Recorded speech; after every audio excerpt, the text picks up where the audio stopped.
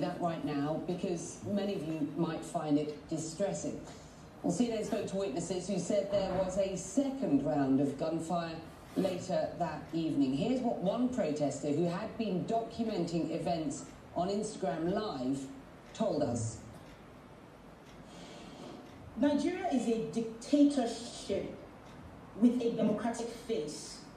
And I think that is primarily to, to, to please the international communities. It is our right to protest anything that we see and change that we demand. Well, those protests began as a movement against police brutality, but took a dark and violent turn as we reported. Nigeria is now threatening to sanction CNN and denies that security forces shot live ammunition at protesters. Well, Nima Elbagir brought us that story after weeks of in-depth research and analysis by her and her team, and she joins us now from London. Nima, how has the Nigerian government responded? Well, our reporting, Becky, has triggered their first really significant response since the events of, the, of October 20th at Lekki Tollgate. This is what the uh, government information minister, Lai Mohammed, had to say about our reporting. Like everyone else, I watched the CNN report yesterday. I must tell you that it reinforces the disinformation that is going round, and it is blatantly irresponsible and the poor piece of journalistic work by a reputable international news organization. CNN, which touted its report as an exclusive investigative report, sadly relied on the same videos that have been circulating on social media without verification. This is very serious, and CNN should be sanctioned for that. Of course, Becky, that is simply not true. We used uh, video and images that we were able to verify. We received them firsthand from contacts, witnesses, family members. We interviewed a family member uh, who had been searching for his brother for days at that point, weeks we were able to at least help provide him with some closure, which the Nigerian federal authorities had not been able to provide. The, the press conference was contradictory, and during the conference, the minister said that the federal government was satisfied with the actions of the military and the police on the night of October 20th. That's actually ahead of the findings of its own judicial panel. And those that we're speaking to are incredibly worried about what that means for the findings of that panel. Does that not exert pressure on the panel to exonerate members of the military and the police. Of course, all this is happening while people are still searching for loved ones. People are still grieving the ones they lost, and people are still no closer to answers, Becky. Now, I spoke to the Lagos State Governor in the aftermath of the uh, Lekki protests and incident. Have a listen to some of what he told me at that time.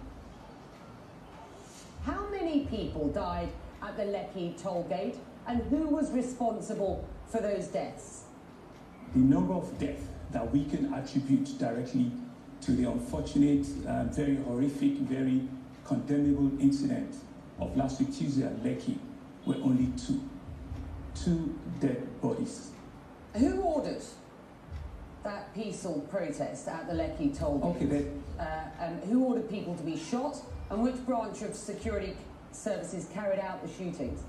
It, it seems to me that there will be um, many military uniforms, right? It depicts that there are military uniform, and so there will be military officers, or I mean, soldiers, as it were.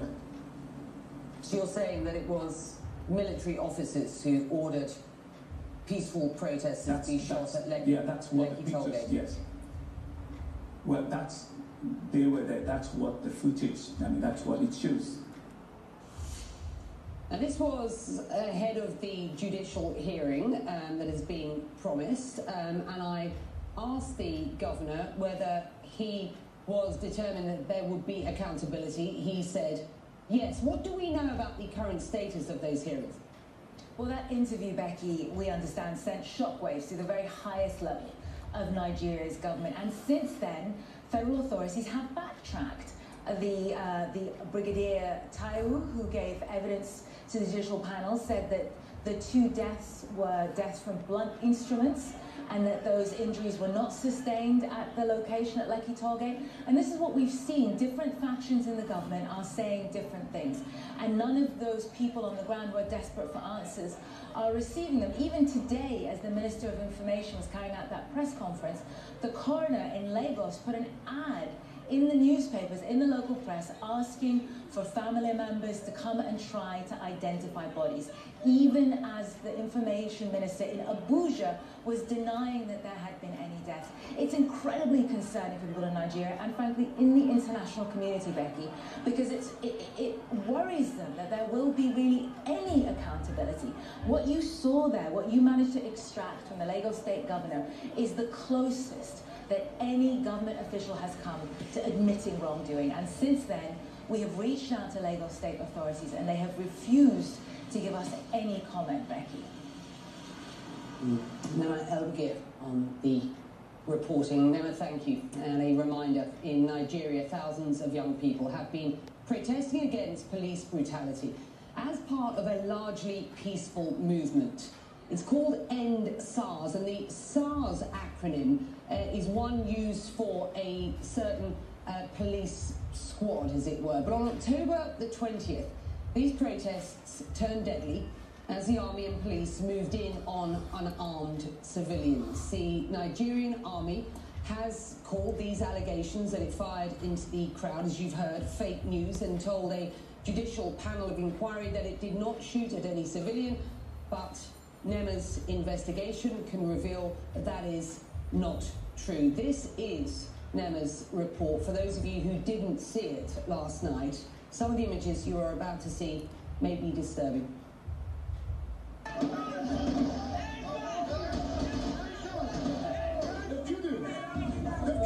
The Nigerian government denies this happened. A peaceful protest turned deadly. The police came, we were peaceful. They came and started shooting at us. CNN investigated the events at Lekki Tollgate the night of October 20th in Lagos, Nigeria. After analyzing hours of footage, we are going to tell a story that is radically different than the one the authorities are telling. The peaceful protest, Abi? Okay, make everybody this here. Now, where's the flag? This is Godson. He was one of the demonstrators having fun live streaming the event. He, like many others, gathered in a peaceful demonstration of discontent. After weeks of process against what they called systemic police brutality and corruption. What Godson and the protesters did not know is that the army is already on its way. This is Bonny Camp, a military garrison on the south side of Lagos, we know through analysing footage they left at 6.29 p.m. heading towards Lekki Tollgate. We can see here the Nigerian government forces approaching. The protesters are gathered on the other side of the gate. As Nigerian forces get closer, you can see shots. At 6.43 p.m., we start hearing gunfire. We know this from the timestamp and data on this video. Here's another angle. They are releasing fire. They are releasing fire. Nigerian authorities say they fired blanks into the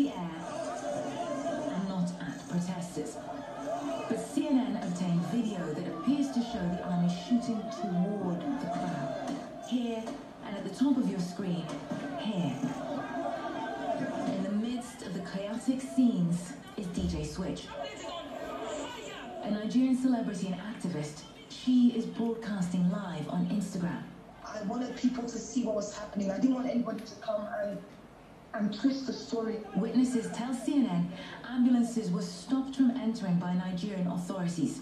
You can see here people at the scene trying to conduct CPR.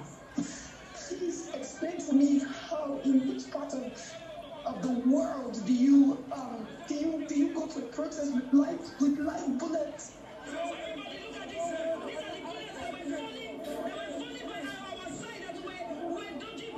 CNN has verified that these bullet casings are from live ammunition. They are of mixed Serbian. This one from 2005.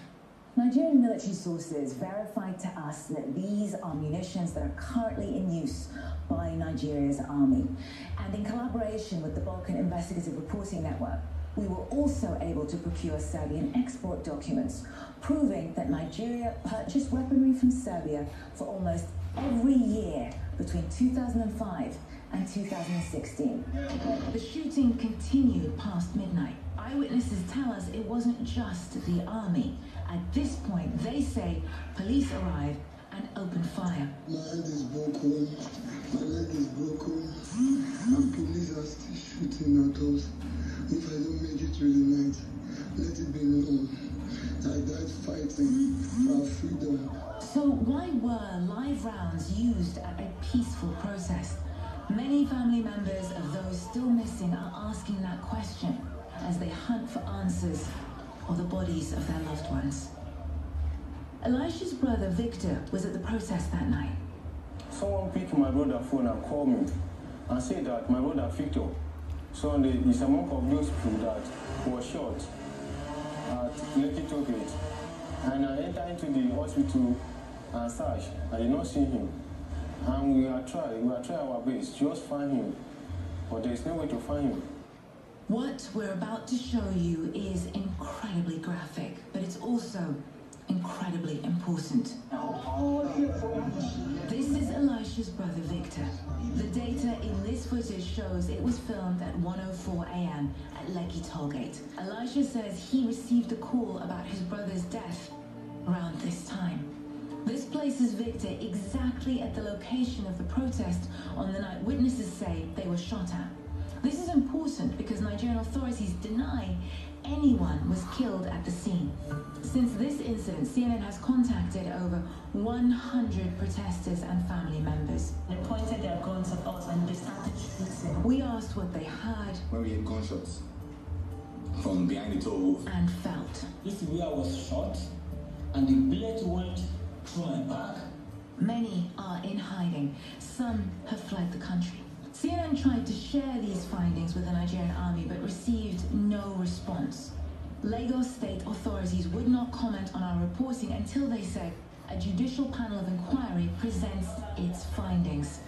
The wait for answers here continues. Nima Elbagir, CNN, London. And a statement from CNN I will read, and I quote Our reporting was carefully and meticulously researched, and we stand by it. Well, moving on, decades of US policy upended.